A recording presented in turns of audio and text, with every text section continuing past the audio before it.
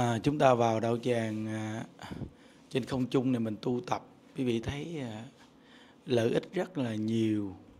Ngay cái chỗ thí dụ như à, mình vô đây mình vừa tu tập mà mình cũng à, à, kết bạn sen khắp nơi nơi. Và tu tập mà cũng không có được à, ngồi đông với nhau để à, thị phi người này người nọ à, rất nhiều lợi ích. Rồi tu xong thì tại nhà mình cũng có thể lo việc này việc kia được mà cũng à, tại nhà tu không có phải à, à, xa gia đình nhiều nên là từ người trong gia đình cũng không có nói mình được. Nghĩa là cái đạo vàng trên không trung này nó rất phù hợp trong cái thời cuộc này cho vị tu. Thì chính mình được cái sự lợi ích này mình à, phải đem cái sự lợi ích này để cho nhiều người người ta được lợi ích thật sự có nhiều người người ta biết Phật pháp cũng lâu mà người ta không có được cái cách tu tại nhà này đó quý vị. Không biết. Và có những người người ta cũng không biết cài cái room này để người ta vào tu. Tuy là bây giờ điện thoại nó cũng đang à, phổ biến rộng, nhưng có nhiều người người ta cũng đâu biết xài đâu đâu biết vào cái room này đâu. Như bây giờ mà kêu những đức mà cài cái room này như đức cũng không biết luôn. Đức cũng không biết, thấy chưa? Vậy thì có nhiều người thật sự cũng không biết, không giỡn đâu. Nên mình nên à, gặp những người gì mình chỉ biểu người ta, mình giúp đỡ người ta, để cho bản thân người ta được lợi ích như mình lợi ích. Nhưng đức thấy cái lợi ích này quá lớn. Khi thấy quý vị lên trên cái đạo tràng không chung này tu, thấy bị háo hức nha. Tới giờ tôi bị cảm giác háo hức rõ ràng. Như thời điểm lúc trước cái khi vị nói 6 giờ tu, chứ bị lên khi gần 7 giờ 6 rưỡi, nó lề mề, hoặc là tới giờ tu rồi à, mà buồn ngủ quá thôi ngủ thêm chút. Tại vì mình chút mình lên mình tu thôi chứ có ai bắt buộc mình đâu. Nhưng mà cái đạo tràng không chung này hay nha. Tới giờ bắt buộc phải chạy lên tu. Và những đức nghĩ rằng có những người người ta cũng à, chuẩn bị máy móc trước thời gian. Chứ không phải chờ tới giờ mới bật lên đâu quý vị. Mà phải chuẩn bị máy móc đồ chuẩn bị để máy đồ. Có những người mua thêm điện thoại nữa. Ừ, để à, để chuẩn bị nữa, không có chuyện giận thì đây là cái sự mà mà nó rất là háo hức trên cái sự tu hành. Thấy không? Rồi à, có những cô bữa nay ngồi qua sen rồi rất là xinh đẹp. Chắc cũng sắp sửa giảng sanh. Hiểu không? Nên là kệ mình chưa giảng sanh mà mình ngồi qua sen trước đi. Thì mình cảm giác là mình phải giảng sanh như cực lạc. Quyết chí luôn. Đó. nên là những đức thấy à, lên tu ai cũng sáng sủa vui vẻ cái này là trước công chúng quý vị, chứ không phải giỡn đâu nghe. Trước màn hình đồ công chúng đồ. Giống như đức hòa ông lên tu trả đầu 73 đồ ngon lành chứ đâu giỡn chứ đâu. Nên ờ, nên lên tu đâu phải ờ, tầm phơ tí vèo lên đại càng ờ, tóc tai bùm xùm nhìn bèo nhèo đâu quý vị. Áo chàng rồi phải ủi cho đàng hoàng rồi lên ngồi tu cho công chúng mà. Đâu có giỡn quý vị cái nhiều bà phải làm tóc làm tay đồ dữ lắm chứ giỡn coi cô cái nhắn tin có nói à, lúc này tu đâu chạy không chung nên à, từng nào đi làm tóc. Nên, à, kẹp tóc đồ lên đồ nhìn dữ dằn ha. Tu rồi sáng sủa rồi cho người ta nhìn thấy người ta mê người ta thích tu theo. À, nên từ nơi đó rồi nhiều cô thì tuy ngồi à, ở đạo tràng không chung vậy đó nhưng mà chị em cũng được quen biết làm bạn nữa. Đó là những bạn sen động viên nhau tu để hướng về thế giới cực lạc. Nó không phải là tập trung một chỗ quá đông ngồi chung với nhau. Khi ngồi chung thì bà này nói này bà kia nói kia thị phi. Còn bây giờ ngồi xa gì giỏi lắm mà chào nhau đồ. Một hai câu thôi chứ đâu có nói chuyện nhiều được mà thị phi. Nên cái tu này đậu cái tu này được lợi ích và được trữ được phước duyên. Lớn chứ không phải giỡn đâu. Ý nhà đức muốn nói sự lợi ích này quý vị thấy rằng là rõ ràng cái đạo tràng không chung này nó thành công. Nó nếu nhiều người mà mà, mà sau này phát động cái đầu chạy không chung này mà mà mọi người tại có duyên với cái người mình phật tử mình quen chứ. Phát động lên cái chương trình tu này. Nhiều người làm rất là tốt. Với thêm cái đậu tràng này nó nó nó nó, nó sẽ nhân rộng ra tới, từ trong nước cho tới ngoài nước quý vị. Ở đây cái một một số người ta nước ngoài người ta tu rất là đông chứ giỡn đâu. Nó nên từ nơi đó mà nó nó lan can rộng ra tới nước ngoài luôn á. Càng ngày nó càng đông mà quý vị. Nó càng ngày càng đông nên từ nơi đó mà thấy cái sự lợi ích của cái đạo tràng không chung này. Quá tuyệt vời. Mà cái đạo tràng không chung này sau này giảng sanh nhiều? Vì sao vậy không? Vì quý vị lo tu tập, rồi quý vị làm tròn cái nhiệm gia đình. Quý vị cũng không rắc rối việc này việc kia, lu bu lộn xộn. Mà quý vị biết rằng là tu kiểu này thì thật sự mà nói, xã hội đất nước người ta vẫn chấp nhận. Tại vì rảnh thì lo tu chứ đâu đi nhiều chuyện, tào lao với xế làm chi? Chứ mấy bà này mà rảnh rảnh rảnh mấy bà đi sớm trên, sớm dưới, bà nhiều chuyện mệt. Còn cầm điện thoại với nhắn tin tối ngày được lợi ích gì đâu. Bây giờ niệm phật lễ phật tại gia đình như vậy thì củ quyền thất tổ ông bà, cha mẹ hoặc chư hương linh vì nghiệp phá thai, bản thân, nhiều cô đây cũng bị dính nhờ tu hành này mà cũng giải nghiệp luôn. Nó lợi ích quá lớn luôn quý vị à. Rồi thêm nữa cái gia đình này, tu từ từ từ từ, con cháu gia đình nhìn thấy, tự nhiên con cháu trong gia đình tự nhiên từ từ ảnh hưởng luôn rồi người thân không tu thấy mình lại phật giết. Rồi mình vui vẻ giết tự nhiên lại theo luôn. Bây giờ đâu à, nó ảnh hưởng rất là lớn quý vị à. Sự ảnh hưởng này lớn lắm luôn á. Nó nên mình tu tập mình thấy sự ảnh hưởng nó lớn rồi sự lợi ích nó lớn. Bản thân chúng ta tự nhiên mình không có giải đãi. À, tuy là người ngồi mỗi nhà mỗi nhà mỗi nhà nhưng mà vô thấy nguyên một màn hình thiệt là đông người ta. Rất là đông luôn. Mà cái hạnh phúc vô cùng khi cả gia đình mà ngồi tu chung cái này là đại phước báo nhân viên chứ không giỡn đâu. Có những người trong cuộc đời này gặp nhau là tạo nghiệp không á? Thí dụ như mình không biết tu, mình gặp nhau cái là mình mình ưa đi tạo nghiệp chứ không giỡn đâu nghe. Nhưng mà bây giờ gặp nhau mà ngồi chung nhau niệm phật là hay quá. Nó tuy là à, trong nước, ngoài nước, các tỉnh thành, nhưng mà lại ngồi chung một một cái đạo tràng tu tập chung. Thì hay chưa? Quá hay luôn. Cái sự lợi ích này chắc chắn rằng là Phật A Di Đà ngày từ bi, ngày thấy chúng sanh nhiều người muốn niệm Phật ngày chỉ mình cái cách hướng dẫn tu này. Quá hay luôn. Không nghĩ ra nổi, vị ơi. Hồi đó mà những đức mà lập cái room này, những đức cũng nghĩ là lập thử thôi. Không ngờ mà nó phát triển mà đến mức này luôn. Thành một đạo tràng lớn mạnh mà tu tập mà mà gọi là đạo tràng mà khắp nơi nơi. Mỗi gia đình là một đạo tràng tịnh độ. Quá hay. Cứ cái đà này như đức nó ảnh hưởng gia đình vì từng đời á, chứ không phải giỡn đâu. Vì trong gia đình nhất định có con cháu mà con cháu nhìn viết nó nó nó nó nó cũng bị ảnh hưởng, quý vị. Nhìn viết ảnh hưởng. Nó nên từ nơi đó mà cái sự lợi ích này lớn, nên mình làm cái việc gì trong Phật pháp, cái cái tâm là cái quan trọng. Nhớ kỹ, cái tâm rất quan trọng. Tất cả pháp từ tâm tưởng sanh, quý vị. Cái tâm niệm niệm gì người, cái tâm mở rộng ra là là làm nó sẽ là có lợi ích. Còn mình làm mà việc trong Phật pháp mà mình thiếu cái tâm á nghe cái tâm mình nhỏ nhen, suy nghĩ, thủ đoạn đồ này kia. Dù quý vị có làm hình thức thiện nó cũng không phải thiện. Nên cái mà mở rộng tâm lượng, cái mà phát tâm là cái đặc biệt. Nó, cái tâm rất là quan trọng, cái chủ chốt. Khổ, vui là ngay cái tâm. Nhớ nghe, giảng sanh hay đọa lạc cũng ngay cái tâm. Nên mình muốn giảng sanh là giảng sanh, mình muốn đọa lạc là đọa lạc. Ngay cái tâm là quyết định. Hồi chiều gặp mấy cô này, mấy cô nói à, chúng con à, đi hộ niệm. Nhưng mà cái chị mà dẫn đi hộ niệm con hỏi thầy chỉ làm gì đúng không? Chỉ đi hộ niệm chỉ chỉ mỗi người cầm củ tỏi bỏ trong túi cầm theo. Hỏi chi à? Bà nói rằng đi hộ niệm nhiều quan gia trái chủ lắm. Mình bỏ tỏi trong túi để quan gia trái chủ nó chạy bớt đi. Rồi xong mấy cái bà bà nói một câu là, cái bà hộ niệm đó, bà bị hương linh nhập hoài thầy ơi. Hỏi bà tu sao bị hương linh nhập? Bà nói, bữa nay bà niệm phật, ngày mai bà tu cái khác, ngày mốt bà tu cái khác. Có khi bà đi hộ niệm, một chút bà thay cách niệm phật này, bà thay cách niệm phật kia. Nguy hiểm nha quý vị. Nguy hiểm chứ không đơn giản thấy không? Bị nhớ nha khi con người mình si phước nha quý vị, hương linh mới nhập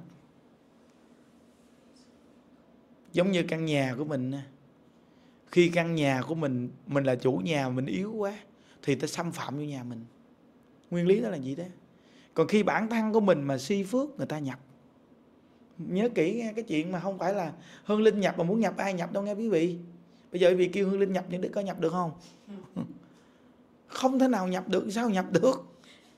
À, nghĩa là nếu quý vị si phước vị giống như quý vị không rõ ràng quý vị không hiểu định luật nhân quả, quý vị không có chánh kiến rõ ràng là hương linh nhập quý vị đó. Ừ. si phước, với thường là những người mà sợ ma, sợ, đụng đâu cũng sợ, lo, sợ rồi bất an rồi lo âu, giết rồi cái tâm mình nó bị si phước. Nó bị nhớ, đại lão hòa thượng không người giảng nói rằng, mỗi một hương linh mà muốn nhập vô một người là phải được vua diêm dương chấp thuận mới được nhập chứ không phải là muốn nhập ai là nhập đâu quý vị à. Nó, nó đều có nhân quả đó chứ không phải giỡn đâu. Nên á quý vị nhớ nè kinh chú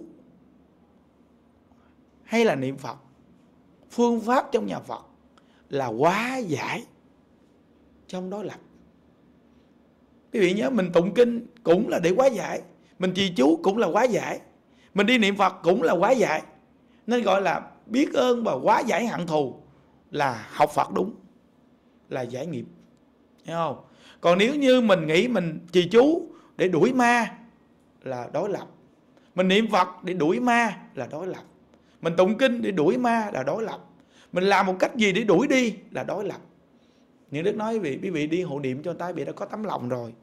Quý vị cứ niệm cho người ta chân thật đi. Nó quý vị biết rằng nếu mà nói nó nói rõ ra, cái người mình đi hộ niệm, cả ngũ tăng mình còn không được ăn vì mình biết thì mình đừng nên ăn còn cái người không biết người ta ăn là mà mà người ta niệm phật thì cái đó là tùy duyên người ta niệm phật cho dòng họ, gia đình người thân của người ta. Còn bản thân mình đi hộ niệm mình đã biết rồi, ăn ngũ tăng nó không được lợi ích. Như vậy thì mình đi hộ niệm mình phải cử ngũ tăng. Hiểu chưa? Cái này là đúng. Nhưng mà quý vị dám đem tỏi bỏ trong túi là ý gì? Ý gì? Tỏi là giống như vũ khí hiểu chưa?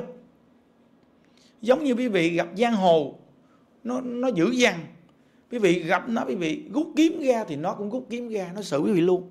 Thì tỏi là vũ khí mà nghiệp quan gia cháy chủ người ta đến báo thù. Mình là người đến để hộ niệm giúp cho người này. Mình đi cầm tỏi theo. Mà cái mùi của tỏi cái mùi ngũ tăng nó khó chịu, không đơn giản. Thì người ta thấy mình là người ta biết mình đi đến đối lập với người ta. Thì người ta sẽ trở thành với mình là quan gia trái chủ. Trong khi mình đi hộ niệm là quá giải mình đi hộ niệm là quá giải quan gia để giúp đỡ cho người mà đang nằm đây để họ được Phật ấy Đà tiếp dẫn giảng sanh. Nên nhiều người người ta niệm Phật xong người ta còn hồi hướng cho quan gia. Người ta hồi hướng cho quan gia để cho quan gia buông người này ra. Người ta còn năn nỉ quan gia để quan gia buông cái người này ra để giúp đỡ người này niệm Phật sanh cực lạc. Còn mình đi lỡ đó hộ niệm cho người ta, mình đi cầm tỏi, cầm đồ theo, hoặc là lấy cái gì mình tho vô người để đừng có đừng có đến gần mình, thì cái tâm mình thua, thà đừng đi hộ niệm mình đi hộ niệm gì thôi, mình đừng có đi.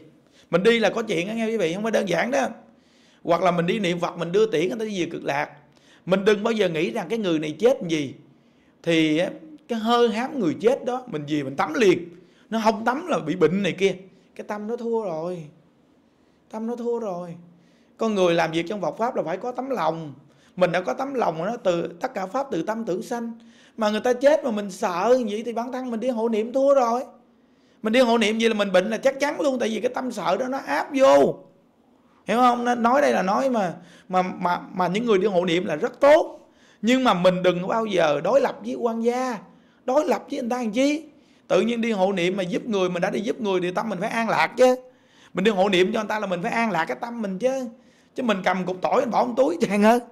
Cái bà này bà nói mà nghe hết hồn luôn. Nó vậy là không hiểu. Ờ, cái cô này có hỏi ủa thầy gì con mai mốt con có đi hộ niệm chung không nói. Thôi gặp những đức và đức ở nhà niệm phật cho nó chắc. Tại vì sao? Vì đi theo mấy cái bà hộ niệm làm kiểu đó mình mình đi theo bà giết có chừng mình nguy hiểm. Thí dụ như bây giờ đàn chị mà dẫn đàn em đi mà đàn chị mà còn sợ gì? Thì nó nó nó, nó kết nghiệp quan gia một đống luôn cuối cùng. Mình cũng dính luôn á. Không có chuyện giỡn đâu. Mình đi niệm phật cho người ta là cái cái quan gia trái chủ của bà này là người ta cảm kích mình rồi đó người ta cảm kích mình là những con người này thiện tâm quá. Đi giúp người để mình coi những con người này, cái tâm giúp người sao? Họ giúp bằng cái tâm chân thật đồ này kia. À những người này tốt quá. Người ta chắp tay, người ta phục quý vị, cảm phục quý vị. Quý vị có tấm lòng quý vị thiện quá. Nhưng mà quý vị bỏ một cục tỏi trong túi quý vị, ý gì? Ý muốn chống đối người ta. Thầy là thật sự á, muốn chống đối người ta. Mà đã là muốn chống đối người ta là mình đi mình đi kết nghiệp quan gia. Trong khi mình quá giải người ta mà mình đi kết nghiệp mình. Sai không? Nguy hiểm chưa? Nó nên khi đi niệm phật, hộ niệm là phải chân thật, phát tâm. Cái tâm này là phải chân thật nè. Đã là chân thật là không có sợ nghe. Nó, cái người ta ngoài đời người ta không tu, cha mẹ ông bà chết, ta còn không dám đụng vô. Đụng sẽ chết chùm. Còn mình là người tu hành, mình gờ người ta bình thường. Mình không có gì sợ chứ không có gì mà sợ chứ nghe. Người ta chết là thọ mạng ta đến chết, còn mình chưa thọ mạng, chết sao chết? Cái hơi gì đâu đâu có gì đâu, hơi nó nên quý vị biết rằng ngày xưa mình còn ăn ờ, mình còn ăn mặn đồ này kia quý vị thấy không? Nhiều con vật nó bị bệnh này cái bệnh kia mà mình còn ăn. Vậy mà con người với con người với nhau chỉ cần ho một cái thôi mình bậm mũi lên ho lao lây chết mồ luôn. Vậy mà nhiều con vật cái nguồn gốc ở đâu mình cũng không biết mà mình ăn nghiến ngắm mình mình nói ngon quá. Nhưng con người với con người với nhau quý vị thấy mình mình ngồi mình bình tĩnh mình ngồi suy nghĩ nghe. Giữa con người với con người ho ách xì uhm, ho lao có chừng lây chết mồ. Còn bây giờ nguồn gốc mà mình ăn mặn, quý vị không biết nguồn gốc con vật nó ở đâu đâu luôn. nên con người mình phải nghe và ngồi mình suy nghĩ cho kỹ đi. Nghiền ngẫm mình suy nghĩ cho thật kỹ. Tất cả pháp từ tâm tưởng sanh thì giữ cái tâm an lạc đi quý vị. Giữ cái tâm bình an và an lạc để giúp người đi. Đó, nếu mình đi hộ niệm mình giúp người ta được, mình đừng có bỏ tỏi người nghe. Nó có cái đợt đó, có cái cô đó, cô cũng quý những đức. Những đức đi ờ, đến cái chỗ nọ có đưa những đức một cái chai thuốc, có nói, ngày mai thầy đi đến chỗ đó. Ngài thấy thuốc này tho từ trên đầu, tho dài xuống, tới chân. Hỏi chi à thì đi đến đó không bị gì chứ. Nó sẽ chứ mình mình mình mình cũng thấy tội nghiệp, mình cầm, mình cắt. Chứ mình đâu có tho làm chi chàng, ai mà làm kỳ cục ấy. Tự nhiên mình hướng dẫn người ta gì nhân quả, tự nhiên kêu bỏ lấy chai thuốc thôi người. Hỏi, chai thuốc này tho được lợi ích gì? Bà nói, tho lên đi. Không có ai mà đã đụng chạm vô người thầy được đụng chạm cái gì? Nó là giống như người ta bỏ bùa ở đây nó nó tới tới tới. Mình tu mình tin nhân quả ai mà làm chuyện này kỳ cục với chàng. Cái gì nó đến với mình là đều là nhân quả hết trơn á. Mình cứ giữ tâm thanh tịnh mình niệm phật đi. Mình giữ, giữ tâm thiện đi mình không có quả báo đó ai mà làm gì được mình? Còn mình có quả báo đó mình phải chịu. Nên mình có quả báo đó mình chịu. Nên mình học phật rồi mình nghe những điều này mình an tâm vô cùng. Nên những đức nói quý vị quý vị thấy không? Những đức hướng dẫn vị niệm phật có ai điên đâu. Ngồi đây thấy bà nào bà nấy sáng sủa vui vẻ. Như bà tệ thương, càng ngày bà càng vui vẻ, bà ngồi bà sen luôn, còn gì nữa. Tu viết mới đây ngồi bông sen luôn. À nó như bé tư rồi, bà vui vẻ quá trời luôn. Nè. nên tu càng ngày càng sáng sủa, càng ngày càng vui vẻ, cười đâu mỗi ngày đâu không buồn giận để trong tâm, sao mà bà trận được? Đất đâu chỉ vì nhiều thứ đâu bị tu đâu bị bà trận đâu quý vị. Nó nên gặp bà này bà nói là không biết, con cũng niệm phật không biết sao? Nhức đầu quá trời. Hỏi, bị gì? Mỗi lần con niệm phật. Con niệm làm sao cho đừng có một vọng tưởng nào lọt vô. Như đức hỏi, nếu mà vọng tưởng lọt vô làm sao? Nó đá nó ra. Tàn rồi bây giờ bà điên là phải. Bà trợn là phải à. Và tự tin câu rồi đó câu nói rằng, khi bạn niệm phật thì bạn dùng toàn bộ tinh thần, tâm quyết của bạn niệm câu phật hiểu đi vọng tưởng nhiều vọng tưởng ít đều được. Thiện niệm, ác niệm mặc kệ. Bạn có lo niệm phật đi. Bạn cứ chú tâm niệm phật thôi. Vọng tưởng nhiều vọng tưởng ít, mặc kệ. Thiện niệm, ác niệm nó khởi lên, mặc kệ. Bạn cứ niệm phật đi, thì bạn sẽ được lợi ích. Thì bạn sẽ không bao giờ bị điên. Còn nếu không mà bạn ngồi bạn đấu với nó là bạn điên thiệt á. Chứ không có giỡn đâu. Ừ. nên nhiều cô mà nghe cái này cũng hay, nghe cái này cũng hay, nghe cái này cũng hay. Coi chừng. Điên chứ không có chuyện giận chớ đâu. Nó điên thiệt á. Quý vị mà cứ niệm phật hoài, niệm phật lễ phật đi, đố bị điên luôn, càng ngày càng khôn. Cứ niệm phật lễ phật viết đi, nó khờ mà viết nó cũng lanh nữa. Mà nó khôn lanh, nó khôn lanh cái kiểu từ bi ấy. chứ không phải khôn lanh mà cháu chở bậy bạ đâu.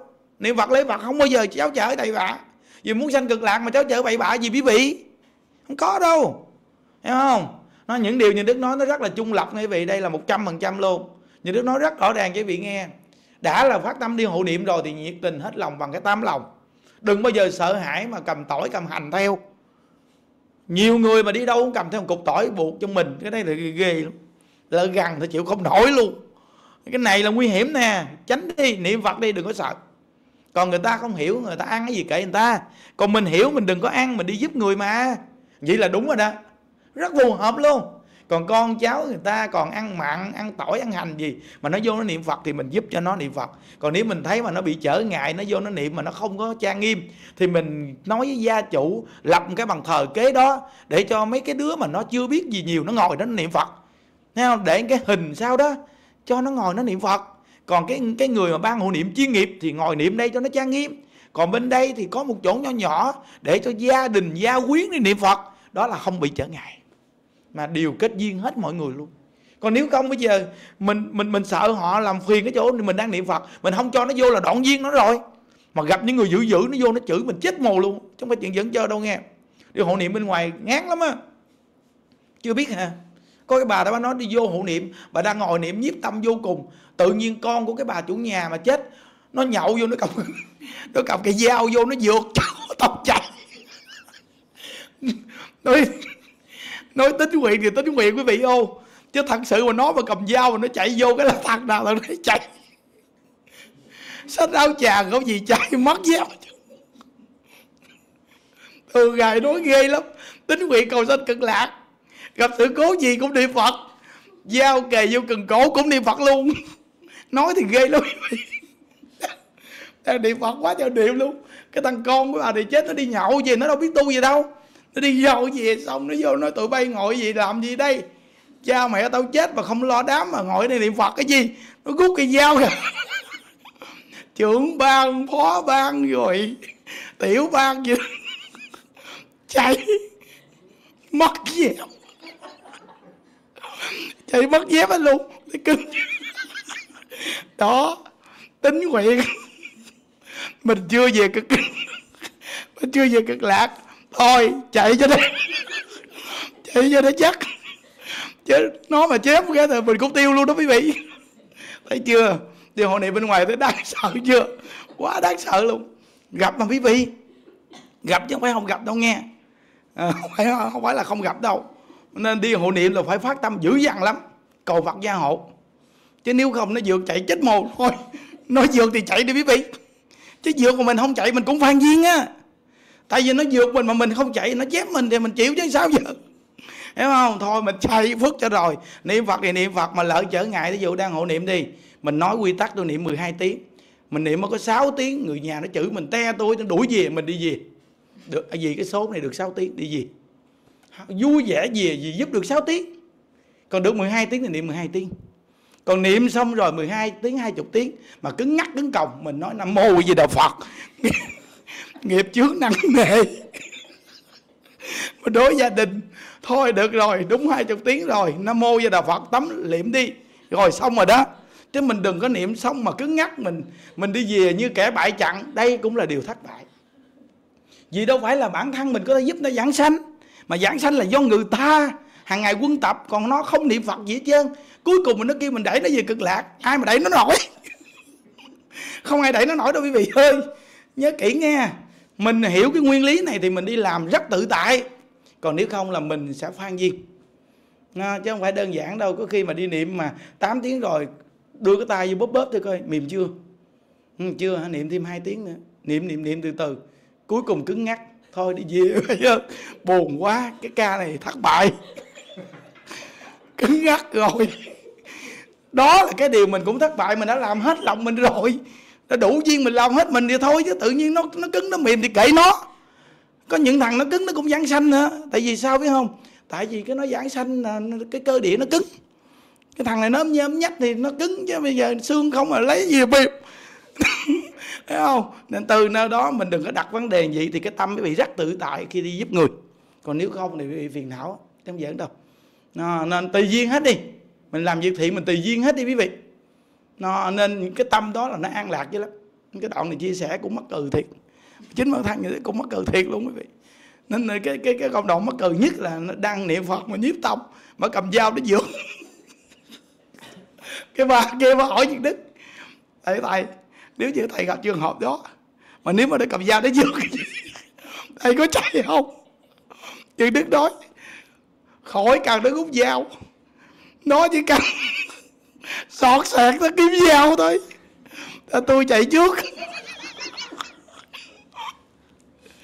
Vì tôi còn yếu. Khả năng chưa giảng sanh được tôi phải giữ mạng tôi niệm phật giảng sanh. Tí vô bầy bạn nó chém si cà que khổ chết mồ cả đời. Không lẽ kiện cáo ai giờ quý vị? Thôi tôi chạy trước chắc ăn. Đứa nào ghen thì ngồi lại đi. Thấy không?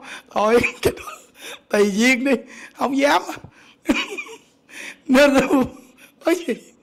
Cái tâm phàm phu mình với vậy thôi. Mình cái gì mình biết mình là phàm phu, mình nhát chắc ăn quý vị ơi. Ha? Thôi chúc quý vị an lạc. Ai về đạo phật? Ai về đạo phật? Chúng ta hẹn gặp nhau cực lạc quý vị ơi. Ai về đạo phật? Ai về đạo phật?